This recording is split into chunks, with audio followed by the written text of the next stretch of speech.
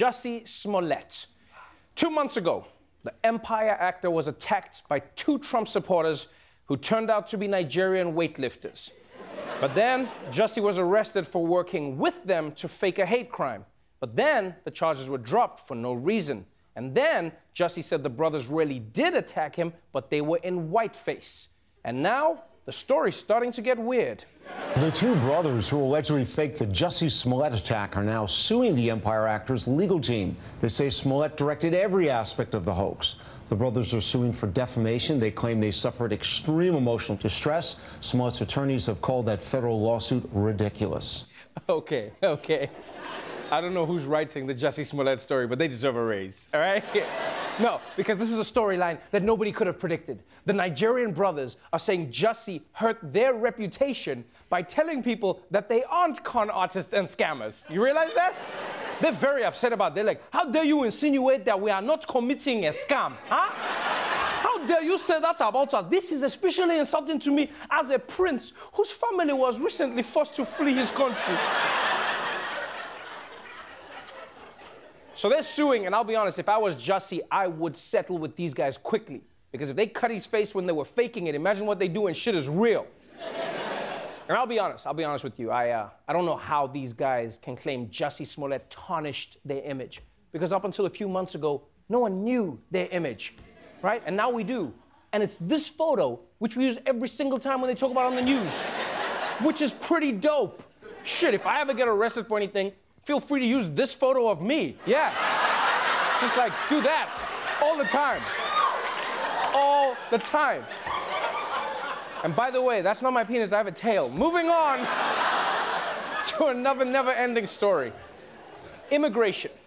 Recently, the Department of Homeland Security has gotten a bad reputation for how it detains children at the border. So they've been trying to come up with an alternative that doesn't look cartoonishly evil. And this is what they came up with. A new report this morning from the New York Times says the United States is considering housing migrant children at the U.S. military prison at Guantanamo Bay in Cuba. The report says it's part of an effort to handle the uptick in immigrants that are trying to cross the southern border. Okay, I want to know how that meeting at Homeland Security went. Hmm? Who came up with this idea? People like, guys, guys, people are already mad at us for separating children from their parents. What can we do to fix this? Oh, uh, we can throw them in Guantanamo? My man. This is a horrible idea. But on the upside, at least the Guantanamo ball pit would finally get used. I mean, and now officials say that they might not move forward with this because the idea of using Guantanamo Bay for immigrant children is uh, not a good idea, right? Uh, I guess they realize how inhumane it is. And not just for the kids, but for the prisoners, right? They now have to share their prison with kids. Like, forget waterboarding, living with toddlers, that's the real torture. They'll be like, no, no, not Paw Patrol again, please, please, please, no! Dogs cannot operate vehicles, no! And finally, you're not gonna believe this, but something really strange happened in Florida.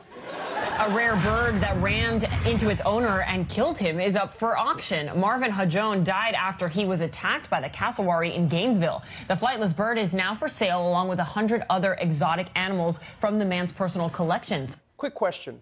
Why are they auctioning off the killer bird? like, who's bidding on that? Is there someone out there showing up like, 200, I'll fight that bird? And, and, you know what? Like people are like, this bird, I can't believe it. But let's be let's be fair, people. We murder birds every day, like hundreds of thousands of them.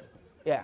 So life really is about perspective. We call this bird a murderer, but chickens locked up in farms everywhere. They're like, yo, that's our Malcolm X. That's what that is. That was revenge. They're getting tattoos of that bird on themselves right now. And Florida or not, it is shocking to hear that there's a bird that can kill people. It's like finding out there's a gerbil that commits arson. Mr. Snickers, no!